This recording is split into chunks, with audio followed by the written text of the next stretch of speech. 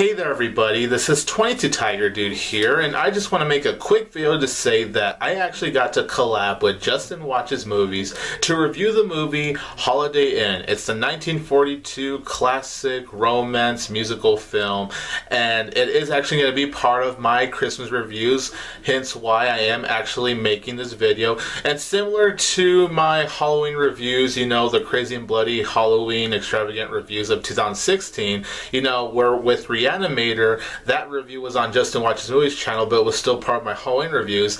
This is the same case for Holiday Inn. Even though Holiday Inn is on Justin Watches Movies channel, it is part of the series of Christmas reviews I am doing. So if you guys want to know my thoughts on Holiday Inn as well as Justin's, it's a very great collab review. I had a really great time collabing with Justin, as I always do. I'll leave a link to Holiday Inn description down below. Happy holidays, everyone. Stay safe, and I really hope you enjoyed the review. And let me know in the comments down below what you think about Holiday Inn.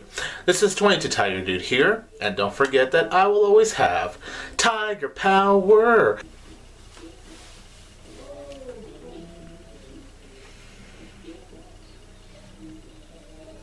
Okay, I'm done now.